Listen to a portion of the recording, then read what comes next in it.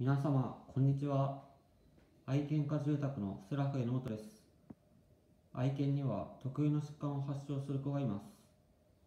大型犬に多いのが股関節形成不全、小型犬に多いのが室外骨脱臼などです。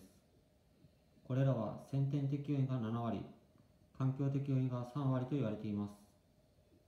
環境的要因は愛犬家の皆様によってリスクを減らしてあげることができます。環境的要因として挙げられるのが愛犬が足を滑らせてしまうフローリングの床。こうしたフローリングの床には床のコーティングがおすすめです。床のコーティングならセラフ榎本にお気軽にご相談ください。さて愛犬丸抜クイズです。フローリングという場合単層フローリングを指すことが多い。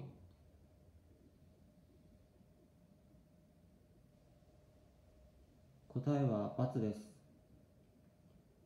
フローリングという場合、複合フローリングを指すことがほとんどです。フローリングには単層フローリングと複合フローリングの2種類に分けられます。風合いや愛犬とのライフスタイルに合ったフローリングを選びましょう。以上で愛犬丸抜クイズを終わります。